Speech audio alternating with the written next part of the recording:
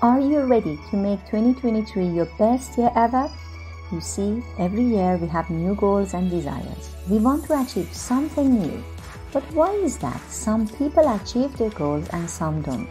It's because they have a different mindset and have tools that help them become their best self. Imagine what will happen if you have all the tools to be your best self.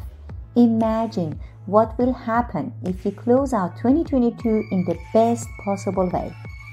We think about learning all the strategies that will help you create the life you desire moving into 2023 to help you close out 2022 in the best possible way and lead 2023 with all the tools to be successful.